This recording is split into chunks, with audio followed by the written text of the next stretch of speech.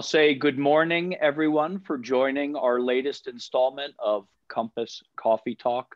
Thank you for taking time out of your day to join uh, my co host, Bill Capsalis, and I as we host some really amazing people today. We're very honored that our guests include Pam Shepherd, the managing director of Manna Tree Partners, and we're going to learn more about how they are investing in nutrition and health and helping promote regenerative food systems that help support that.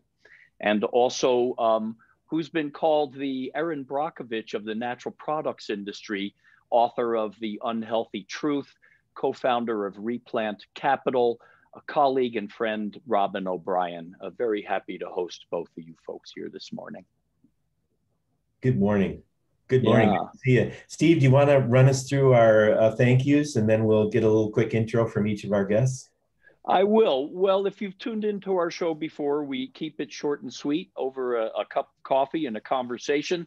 Um, but I do want to thank our sponsors, which include a very interesting um, baking and bread company out of the UK that's coming to America called Genius Food.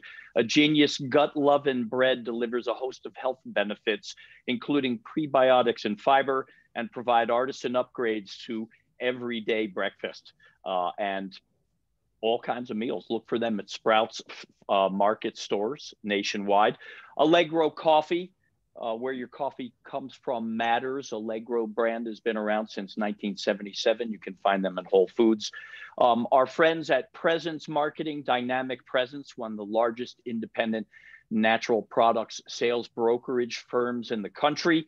We love the folks there, and they represent a lot of great products. And then, uh, Bill, you are executive director of Naturally Boulder. We appreciate actually that the Naturally Network um, um, satellites, including the original Naturally Boulder and also Naturally San Diego, are supporting our efforts at Compass Coffee Talk uh, with a sponsorship. So, you know, with that, I'd like to get us off and rolling. Um, our guests, I'd like them to, you know, basically give us a little bit of backgrounds about themselves and how uh, their work ties them into this theme of uh, regenerative food systems that we think can create uh, better environments, uh, be an answer to climate change, uh, and also support um, community health, local economies, and perhaps uh, an emerging green economy. With all that, um, Pam, would you start us off a little bit of your background, please? Sure. Good morning, and, and thank you so much for having me. First, I, I want to say that uh, I, love being here with Robyn. Uh, she is a, a, you know a professional and personal um, woman that I, I, greatly admire in the space. So um, what, what a great, what a great uh, panel for me to get to attend. Um, so I'm Pam Shepherd. I'm a managing director with Manna Tree Partners. We're a private equity fund located up in Vail, Colorado, and our investment thesis is improving human health and nutrition. Um, we are uh, we approach investments from a health forward perspective, but as we all know, that's um, you know intimately related to um, the environment and to a social um, you know, environmental, social, and, and, governance issues. They're all interrelated to health. We call it ESG plus H here at Manna um, and that's how we, that's our lens on investments. Hey Pam, how long how long have you been with Manna Pam? Yeah, so I've been here just over a year. I joined in June of last year, uh, so I just had my my one year anniversary, and we've we've completed uh, six investments to date. Uh, we've got wow. th three more to go in Fund One, um, and we're already looking forward to Fund Two. Awesome. You've been busy, it sounds like. Yeah, we have been uh, yeah. supporting really great companies. Yeah, cool. Um, uh, Robyn, Robyn, Robyn O'Brien, who is also inspirational to me, even though I'm of the other side of the sex uh, spectrum. I, I love strong, powerful women like Robyn. Robyn, tell us a bit about you, and you could probably go on for an hour. So just you know, whatever is whatever works for you in the in the minute or so we have. Yeah, well, I'm with Pam. It's so much fun I, that you guys got to pull us together because I'm a huge fan of what Manna Tree is doing, Ellie and Pam, and the remarkable team that they've assembled there. I'm very, very grateful for that work. Um, as you mentioned, I'm a co-founder of Replant with Don Shaffer, who was CEO of RSF Social Finance for 10 years, and Dave Haynes, who was managing director at Greenmont Capital. Three of us came together and we really saw an opportunity to provide solutions that are addressing not only this transition finance opportunity on the farm, because 80% of consumers are looking for something organic. 75% of categories in the grocery store now carry something organic but only 1% of our supply chain is organic. So in order for Manna and other companies to succeed, the supply chain has to build out so that we can have economies of scale there and we can make this affordable and accessible to all who want it. So at Replant, that's exactly what we're doing. We are providing 2 billion in capital over the next 10 years to farmers to transition their farmland it's an extraordinary opportunity. And what has been phenomenal is the, the response by companies large and small, from companies that are carving out in the plant-based category to some of the largest multinationals to some of the world's largest B Corp certified farms to really work with them to transition their supply chains to regenerative and organic agriculture so that the math works for the companies that are putting these products on the table what is actually hmm. really exciting about the work in transitioning these supply chains is we're actually decarbonizing them because as we transition practices on farm to these better soil health practices. Soil then serves a stronger capacity to serve as this carbon sink to draw down the carbon from the atmosphere. That story for the multinationals and for the tiny companies is a phenomenal one to tell. And so we are really uniquely positioned right now with this opportunity to create win-win. And that's such an exciting story to tell. It's an amazing story to have partners around the table. So I appreciate everybody on the panel. Yeah, awesome. the crazy story example is the demand for organic corn is so high in, in, among American consumers. U.S. farmers aren't growing enough organic corn. Suppliers are having to go to countries like Romania to source organic corn. No offense against Romania, but that's a lot of carbon getting the core. Well, it's a, you're exactly right. You know, exactly because in the conversations that we've had with Applegate, you know, they've made a commitment to non-GMO. They were trying to source non-GMO. And I said, where are you getting it from? Because we're not clearly growing enough here in the United States for you guys. And she said, we're sourcing from Uruguay, Russia, uh, Romania, Australia, you know, and again, I thought this is an opportunity for American farmers. This is an opportunity to build the US farm economy so that we are actually growing what the American consumers want to eat. And to put the farmer first financially in that equation, it absolutely helps expand the supply chain and address the challenges that we're all facing.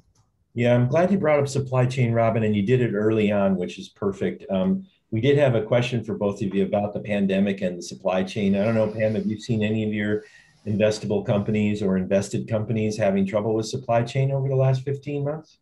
Oh, without a doubt. I mean, you know, from getting glass bottles um, over the ocean uh, all the way to, um, you know, in, you know, inflation and food costs that we're seeing right now. So yes, yeah, and I'm I'm guessing, Robyn, you you too have seen this with farmers, right? I mean, the regenerative supply chain, as Steve just pointed out, has, has been tough. Um, is there anything that you can think of going forward, either of you, that that you see on the horizon that's going to improve that supply chain situation, or do you see it continuing to get worse, or how how does it stabilize over time? I don't know, Robyn. Do you want to address that?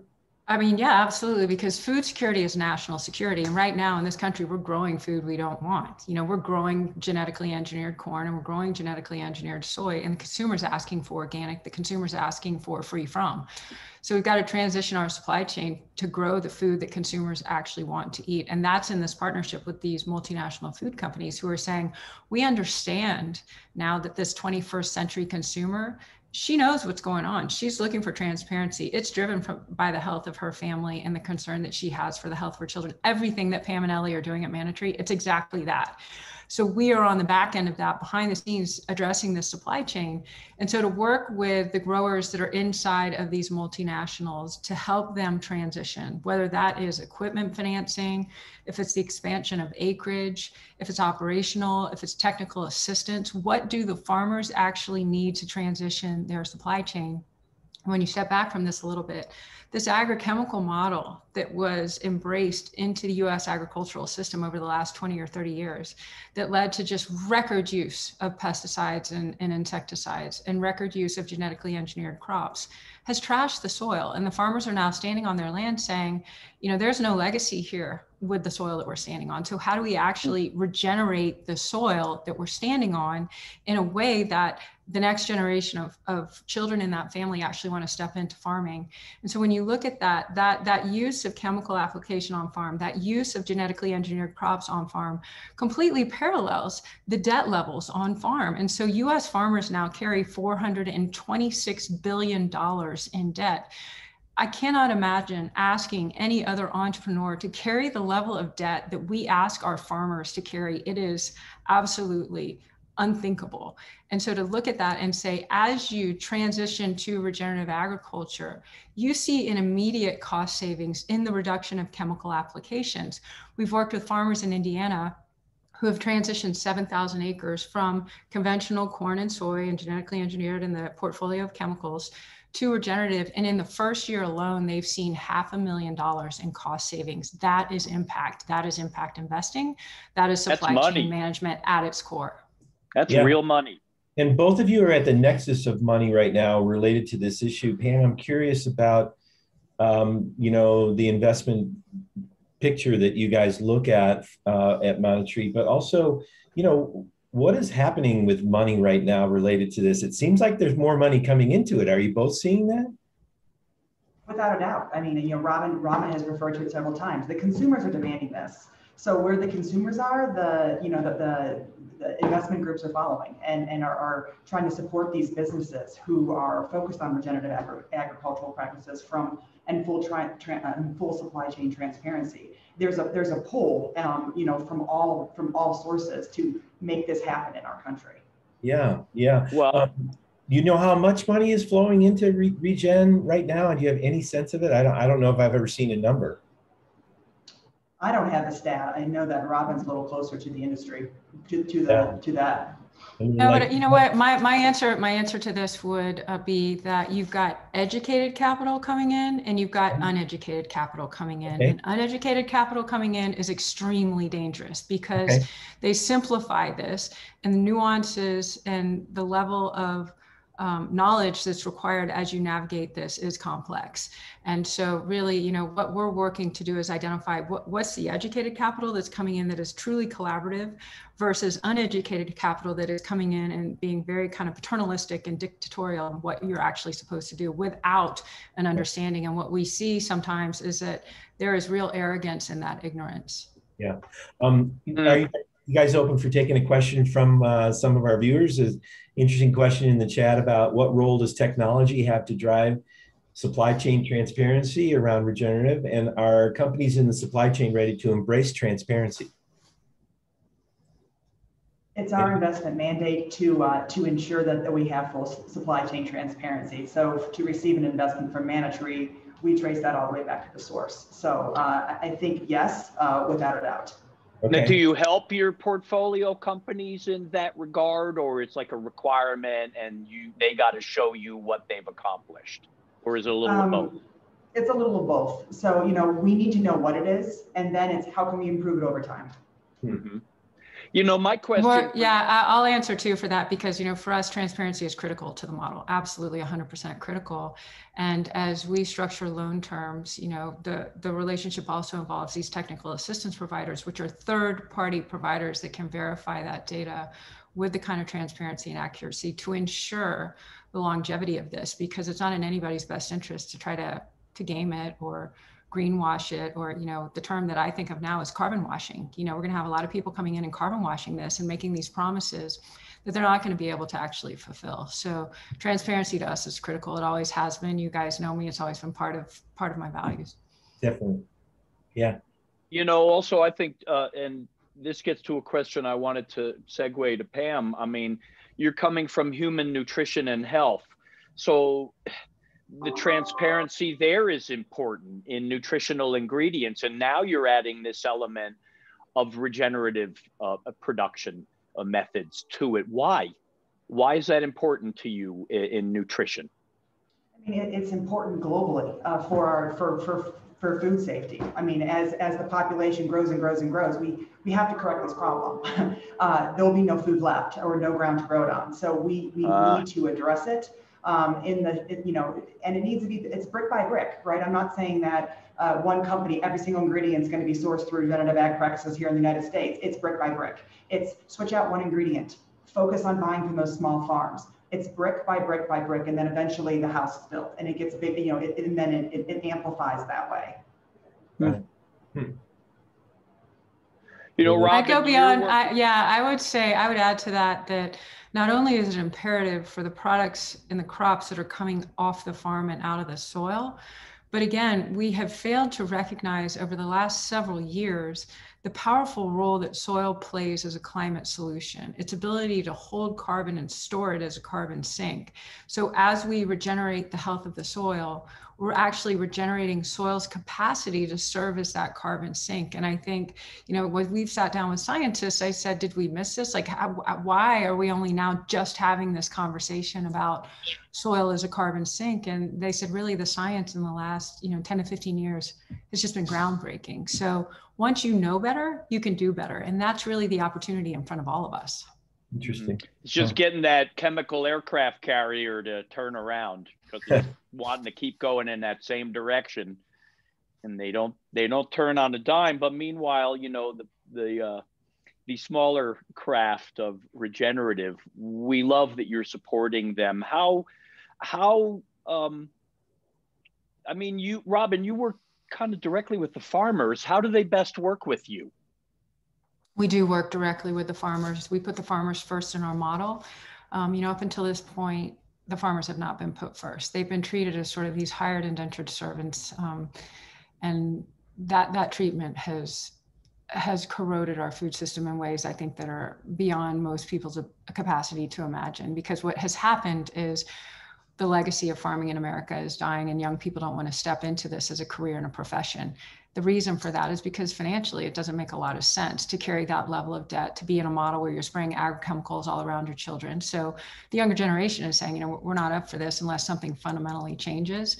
So in the conversations that we've had with the farmers, we put them first and we meet them where they are. And if a farmer has been farming conventionally, you know, for the last 10, 20, 30 years to sit down and actually listen to what their needs are, what their financial needs are, what their needs are culturally, to understand how passive aggressive the bullying can be on farm for some of these guys when they begin to talk about considering the shift towards regenerative or organic. And so for us, it's an economic argument to simply say, financially, this is in the best interest of your of your family to break this addiction with these chemicals because it's also going to help reduce your debt level. We bring in technical assistance providers, and that's region by region and crop by crop. That's not us in Boulder. That's not half the team in Oakland. These are guys on the ground that work with rice growers in Arkansas, or they work with barley growers in North Dakota, or they work with dairy farmers in Ohio and Kansas. And those technical assistance providers speak that specific language to help those farmers and those growers transition. And we're there behind the scenes to meet the financial needs that they would have in that transition process. Wow. Pam, I would ask the same That's question. amazing. You work with companies that are adding value. So how how did I mean, what's kind of your sweet spot or how a company would work best with you? Mhm. You know, Robyn and I uh, are, are where we're investing is is just it's it's adjacent to each other. And when you think about Manna Tree and when we're very health forward, so we look at health first, and our lens is always health. You know, only 12% of Americans are metabolically healthy. That's another huge crisis in this country Wow. um, that needs that needs to be corrected. And so when we look at investments, we look at how we can um, bring better calories uh, to these consumers, make them help them make better choices, and support the businesses that are doing that. So that's that's our lens, and that's how we look at companies. Got it. Wow. We, uh, we had a question come in through the, uh, through the Q and A, uh, you guys, about investing in emerging hemp, hemp fiber, grain, and carbon sequestration, given that the administration is focusing on climate, soil sustainability, disruption, and new ag, and beginning, you know, to, to help farmers. Um, yeah, do either of you want to address that sort of question about hemp and uh, uh, hemp and where the hemp industry is going? Yeah, I mean, I can say, you know, we we absolutely are in conversations at this intersection of food and fiber. And I think what a lot of people don't realize is the crop rotation that occurs on farm. So if you're working with, for example, peanut growers in Georgia, they're rotating those crops with cotton. So how you treat the cotton on farm is how you're treating the soil of that farm, which then that soil is what you're putting the peanut plants into. So it's absolutely all connected. The other thing we're seeing are these coalitions and collectives that are that are forming, you know, really working food industry and fiber and apparel. Um, so really that intersection and thinking about this as this total system is critically important. To touch on something that Pam touched on earlier is they focus on health, you know, and they're talking about how 12% of the population, only 12% of us are metabolically healthy when we talk about the microbiome, and we're really comfortable talking about our own microbiome, you know, we have all the probiotic market and everything that's exploded. The focus we have is the microbiome of the soil. And as you're tackling the microbiome of the soil, it doesn't matter what crop, hemp, cotton, mm. Soy, who, you know, oats, whatever you're putting into that soil, it's the microbiome of the soil. So for us, as you build that microbiome, whatever crop, whatever category that begins to emerge is healthier and better off for it. Nice. Nice. Um, another question came in through the chat, very active chat today. How are you pricing regenerative grains? With farms executing transparency, are you able to guide farmers in the massive investment of certification? So question about, I guess, the, the supply chain and, and supporting the farmers. Um, I see Robyn nodding and Pam is nodding also. Are you both kind of actively involved in helping those farmers with that? Pam, you want to take it? No, you can take that one. I'm sure you're much closer than I am. yeah, so yes, we we definitely are. I think one of the challenges, which is also one of the opportunities in regenerative right now, is that it doesn't have a codified definition. So USDA organic by law has a legal definition. We are not yet there with regenerative. So right now there's a little bit of a danger zone of sort of saying, is it going to be the new natural, which as we all know stands for who knows what. So, you know, the opportunity now within regenerative mm. is to actually define regenerative. And as we've worked with different companies and different growers, you know, there are potato growers that are saying, this is how we're going to define regenerative potato farming. You talk to berry farmers who haven't actually thought about how they're going to define it. And that's the opportunity. How do you actually define regenerative berry farming? So as we do that, you know, again, it's putting the financial interest of the farmer first. That is our North Star and that is our compass. And so as we put the hmm. financial interest of the farmer first, reduction of chemical inputs is, is critical. So, you know, we see that immediately, building soil health and measuring it. So the metrics matter because if you don't count, it doesn't matter. So we can be on farm saying, you know, what are the metrics in soil? We're talking about water conservation. We're talking about water infiltration. Some of the work that we're doing in the Central Valley in California, converting almond orchards to regenerative almond growing, you know, we're seeing a 500% increase in water infiltration. Those are tangible, real metrics. And as we capture those metrics, you know, to be able to offer stronger, better terms to the farmer in terms of loans. And then also, I think what is important, and it is a lesson that we have learned in the food industry around genetically engineered foods, is that there is a lot that you can do at the state level. So we are working with ag secretaries at the state level who are trying to provide the right incentives to state farmers to transition to regenerative agriculture because of the impact on things like water conservation and water infiltration. So it's really kind of looking at it as a total system and how we can wrap around the farmer to help facilitate and assist in that transition. Yeah. Do you feel that there is a regenerative certification needed? There is one out there um, that's mm-hmm. trying to gain some traction. ROC, Regenerative, Regenerative Organic Certified. Companies like Patagonia, Dr. Bronner's, yeah. Rodale yeah. Institute have got behind. Um, and some of those companies are certainly on the vanguard of this, and I think are excellent role models. Other role models, I'm curious as to your perspectives, Pam and Robyn, when I see like Pepsi Co, speaking of potatoes, commit 70,000 acres to regenerative. I think that's a good thing because if we don't get these big companies doing it, I, I mean, again, only 1% of land in America is organic. So we have to have the big push. But does that mean it's authentic or are they whitewashing to some extent? Tough question. So I would I would answer that and say, you know, there's a company, McCain Foods. Um, the woman that runs sustainability there is absolutely brilliant and incredibly high integrity. And um, you know, as we've worked with her over the last couple of years, um, you know, to understand with transparency and a high level of integrity how they are defining regenerative potato growing. Again, I think it gets back to your earlier point about transparency here. How transparent are the multinationals willing to be? It's why we're really thrilled about the partnership with Danone because they're B Corp certified. And basically, what they're saying is we recognize that it's not just the shareholders here, that we've got multiple stakeholders in the system. Mm-hmm. And as, as farmers themselves begin to transition to that B Corp certification, which I think is an absolutely powerful powerful shift that is happening. Again, it gives the farmers that latitude that they need to make this transition. Nice. Um, you know what? We got we got only a few minutes left here, but I love this question from Tom Braun in the chat room. Um, what can the average consumer do to support regenerative agriculture? I want to I want to hear Pam answer this. What can the average consumer do, Pam?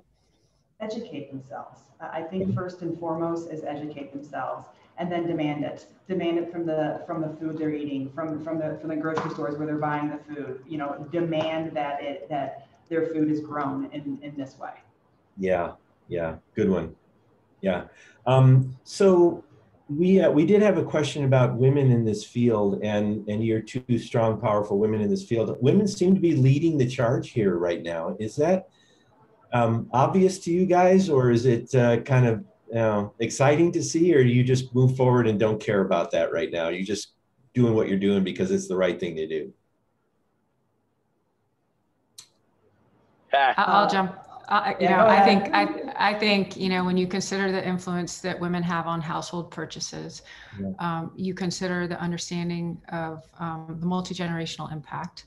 You consider the understanding of how we modify and adjust our diets during pregnancy um, it absolutely and intuitively makes sense that women are leading on this. What I would like to see is more women in governance because, you know, while we understand this at the consumer level, and absolutely we're leading this at the consumer level. And one thing that I would add, you know, that consumers can do is express gratitude to the brands that are actually meeting your needs, reinforce, reinforce them with gratitude and positivity that you are mm-hmm. very appreciative of the work that they are doing because that matters too. That gratitude really pays it forward. Um, but you know, I, I, would, I would, I would also argue that um, we talk so much about biodiversity in the food system. We talk so much about biodiversity on farm. That diversity in leadership and governance is critical for this to be successful. Yeah, I agree. Pam, do you have any thoughts on that? Um, question of women leading the way here? I think uh, Robyn hit it. We're, it's intuitive to us, um, without a doubt. It, there, there, it's you know, there's this thing called women's intuition, which we've all heard about for centuries, and it, it absolutely applies here, um, wholeheartedly. Agree. Um, yes, you know, we're running out of time here. I know Pam, you have a hard stop here, and we want to be respectful of that. And and uh, the half hour has almost flown by for me. Steve, do you want to uh, ask any final questions of our panelists? You, you know, out out to all those folks emerging from the the pandemic of the past year, what's the environment look like for you out there? The challenge and the opportunity in our quick one minute round. And Pam, would you start that yeah, off? So, so um, I, I, think that. Uh, health was a big factor in COVID. People's health was. And as it turns out, it was a, a bigger factor than COVID, than, than actually the virus. Uh, and I think consumers are waking up and becoming aware of that and realizing what changes can I make long term that are sustainable, um, you know, for myself and you know, and for the environment. Stuff the natural products industry has been talking about for a hundred years. Suddenly, the relationship between yep. diet and health and boosting yep. your immunity Section, yep. made a real connection in this past year. And what I'm hearing is that will have lasting effects going forward, which is good for Manna-Tree as you promote human health and nutrition. So thank oh. you so much. Robyn, last round for you. What's the environment looking like challenge wise and opportunity wise for companies, farmers, producers going forward? You know, I think the silver lining of this last year and a half with the pandemic and COVID is that it showed us how fragile our food system is and how vulnerable we are to disruptions. If you think back to last summer when there were shortages on grocery store shelves and Costco was rationing how much you could actually purchase in different categories. We never experienced that before as a country and it really showed us how vulnerable we are to a system that has been designed with a lot of flaws in it. So the opportunity is to bring transparency to that system, to create a system that is much more direct between the farmer and the consumer. And I think, you know, the way that the consumers can support that is really supporting the brands that are truly, truly supporting their farmers. What's been fascinating for us to learn over the last year and a half is which of these companies actually know their supply chains and know the growers in the supply chains and which of the companies really just know ADM and Cargill. And that's an invitation to all of us to put that farmer forward so that we can support and meet the needs of the US farm economy. Because as I said earlier, food security is national security and national security is food security. Got it. So to me, regenerative is taking the the um, taking organic and adding consideration of carbon in the soil. They're they're very complementary, synergistic, and those kinds of practices can really support family farmers, small producers, all the way on up to large companies and get the chemicals out of our environment. So thank you both for supporting that financially because without the capital, there's no sustainability, there's no regeneration. Let's hope we continue to co-create a, a virtuous circle uh, to save our planet, our society, our farmers, our economy. Thank you so much. Thanks, you guys. It was great to talk with you both. Thanks All so right. much. You all have a great day. Stay cool on this hottest day of the year in Colorado. Wishing you all well. Bye now. Thank you. Bye.